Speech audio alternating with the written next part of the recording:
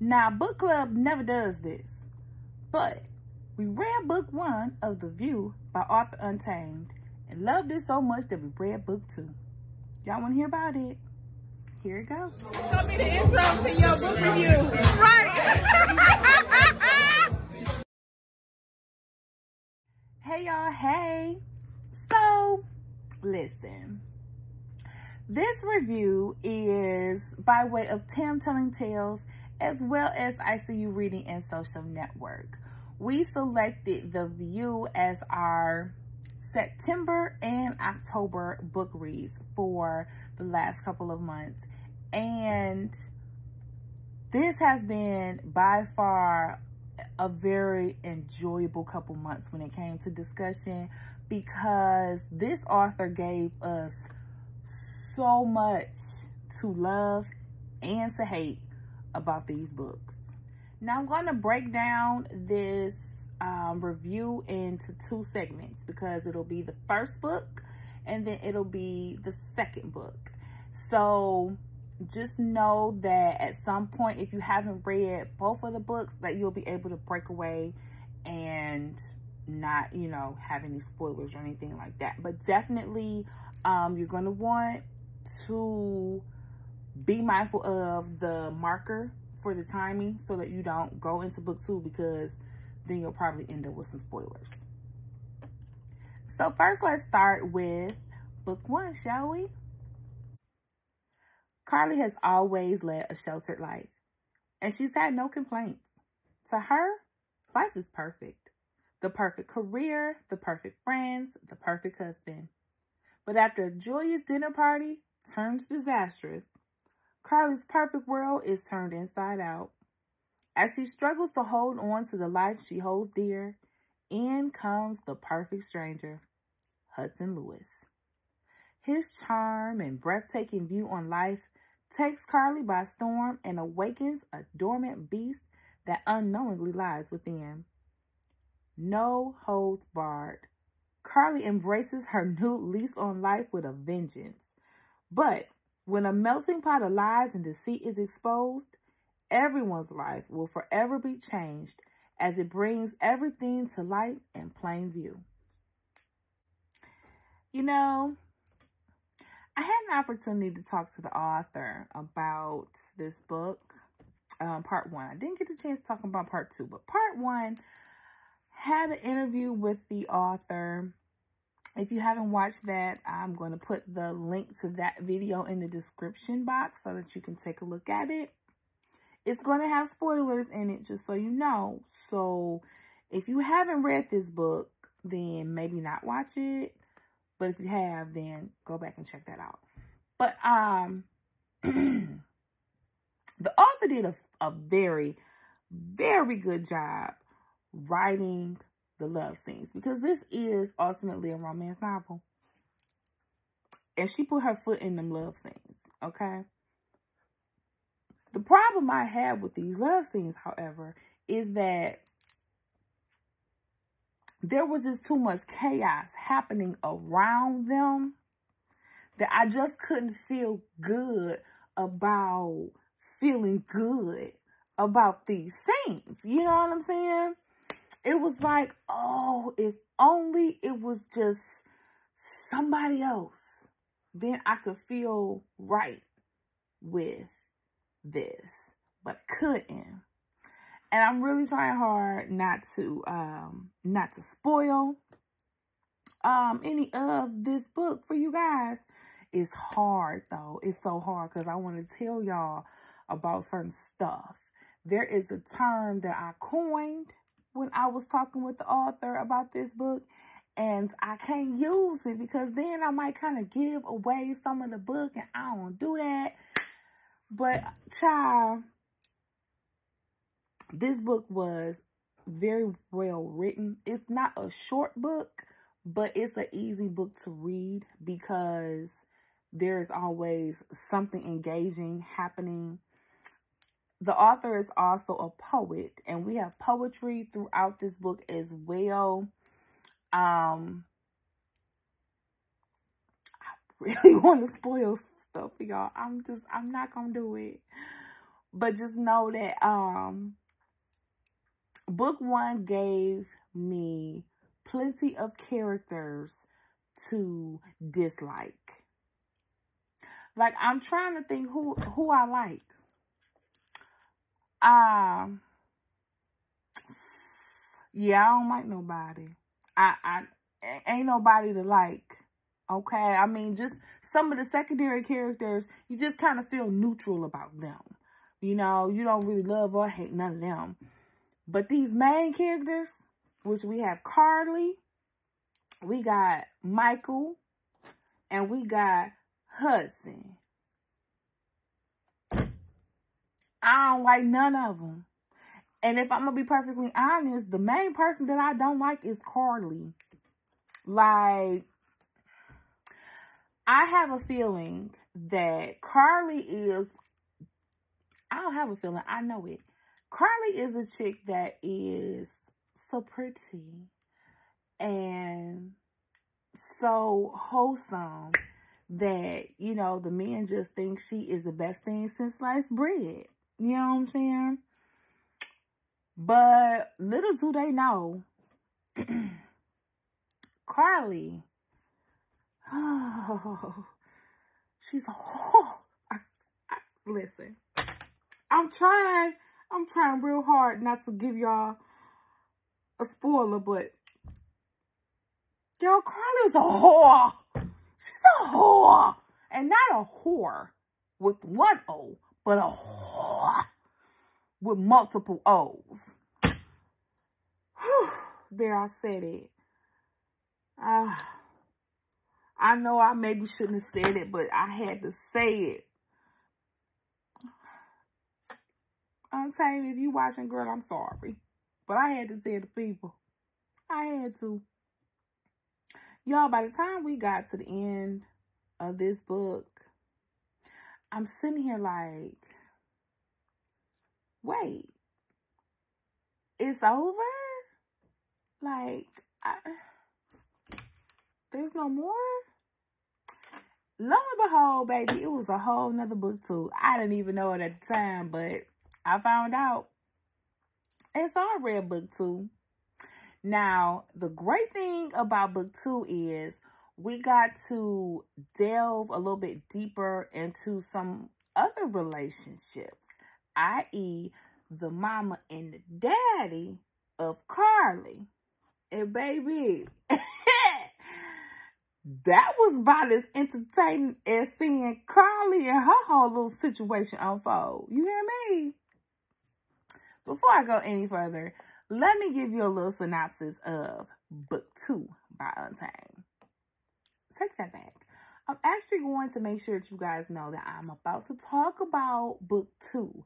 And so what could possibly happen is in talking about book two, it could give away some stuff that was in book one. So if you haven't read either one of them, just tread lightly because I'm I'm trying my best, but the way my emotions is set up about this book, y'all, I can't even for sure, for sure guarantee that I'm not going to say something that could be considered a spoiler. So, y'all just got to, y'all got to be careful.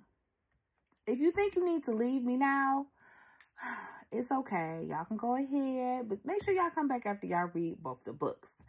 But also make sure that you have subscribed to the channel and hit the notification bell so you know every time I upload a video. Now let's give you a synopsis of book two, shall we? Actions have consequences. Karli and Hudson's affair was filled with sugary romance and explosive sex, encompassed in a close-knit friendship. As they begin their new life together as husband and wife, the idea of who they are as a couple quickly begins to fizzle as the pressures of real life surmount. The newlywed couple struggles to keep their old loving ways intact while unknowingly being thrust into plots determined to separate their union. The weave of deceit they've spun with their relationship opens Pandora's box as friends turn into enemies and long buried secrets are resurrected that'll rock them to their core. As secrets, lies, and betrayal gets revealed, Karli and Hudson's world begins to unravel behind the decisions they've made. With the odds stacked against them, it begs to ask the question Is the grass truly greener on the other side? Well, well, well. We've gotten to book two. And of course, it is apparent that Karli and Hudson is together now, child.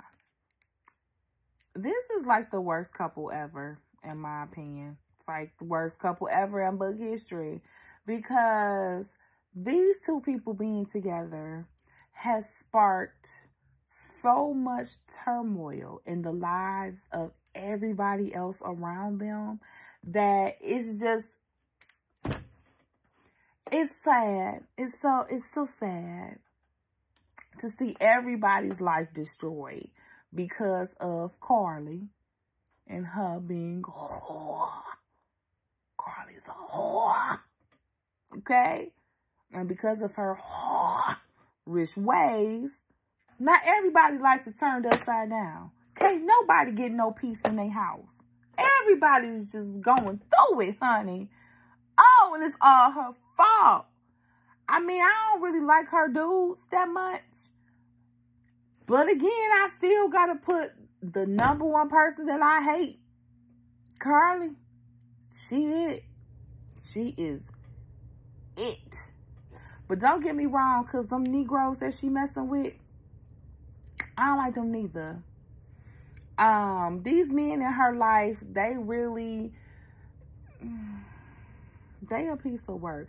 The only man that I can honestly say I can deal with is I can deal with her daddy. And I can deal with uh the lawyer friend. Michael's lawyer friend. You know, because I didn't mention this when we were talking about book one. But you know, these is, these people is saved. You know what I mean? They go to church and everything. And um we kind of noticed in book two that everybody had kind of strayed away from the Lord. Okay, everybody had kind of strayed away. And then we had the one friend that was trying to pull pull them back into the into the realm. You know what I'm saying? And I was like, yeah, see, everybody needs a friend like that. So we had that one friend that was in there. But um, yeah, folks was like, I'm I ain't messing with church no more. When we was in book one, they was oh deacon and oh coming to church and oh and and book two, they said, holla. but you can't be turning your back on the Lord like that because um, he'll show out on you. Because, baby, God said, oh, you said you don't want me to be in this? Oh, okay then. I'm going to leave it alone. Mm-hmm. See how that works out for you. Huh? Okay then. But, uh, needless to say, we I am feeling like we about to get a, a real big old prayer session happening eventually in book three. Because y'all it's gonna be a book three. And i really feel like that's when like we gonna see god work some miracles and do some extra special things with all of these people. I'm i'm just i'm feeling it in my spirit. Huh? Huh but um, in the meantime, it was just a bunch of mess in, in book two. I was here for it though, because everybody's life was getting turned upside down. I'm gonna tell you who who was getting the side eye from me, and that was Karli Mama. She got on my nerves. Karli Daddy, um, Karli Daddy was interesting. Karli Daddy was interesting, and uh, things is really gonna uh, take off when it comes to that mama and that daddy of Karli in book three, I can tell that too. Because when she ended book two, she let us know, oh, that it's about to be some ish. it's about to be some. Um, and I can't wait. I can't wait because apparently, uh, the apple don't fall far from the tree when it comes to Karli and her mama. Hmm? But uh, let me tell y'all what else I liked about this book. Oh, the poetry. The poetry was so, so nice. Because I told y'all, Aunt is a poet. And she had it all up and through this book, y'all. And I loved it so. What else I want to tell y'all about? I think the sex was steamier in book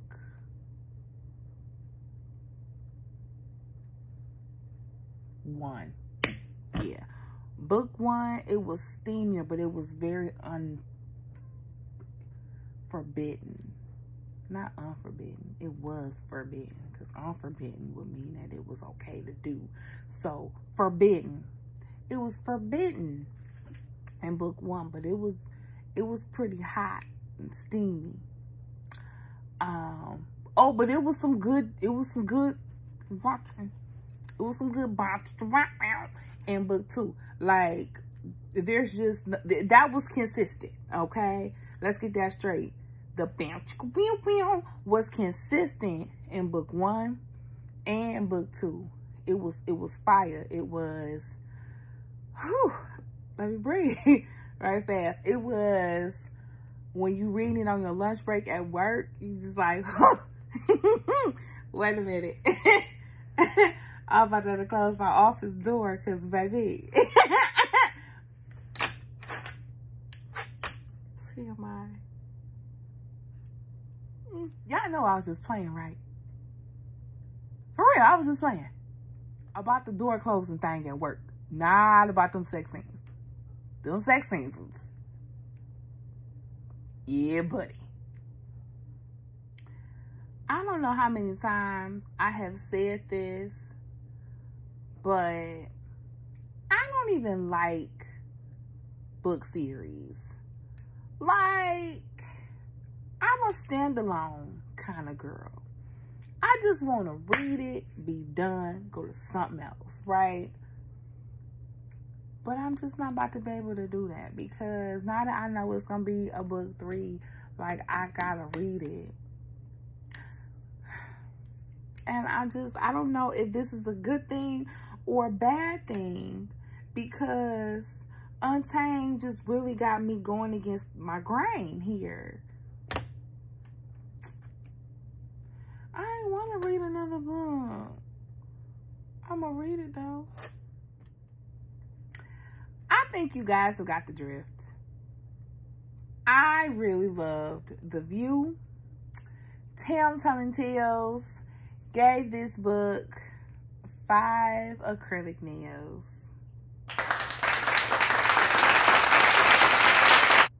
I had a great time reading this book and discussing it with my book club, EyeCU Reading and Social Network. If you haven't joined our chat group over on Facebook, make sure that you do that because we do all kind of great, fun, wonderful stuff over there, you know, and you should just come hang out with us sometime. I'm telling you right now, Fridays, is Freaky Friday. And don't folks crazy. They nasty, okay? And then we also have Freestyle Friday as well, where authors come on and get a topic at the beginning of the day and write a story. And baby, some of these stories be hot fire. And at this point, I think it's like 20 some odd books that originated from Freestyle Friday. So I say all of that to say that we have a great time over there. So make sure that you check us out. I'm Tam. I'm telling tales. Read a book.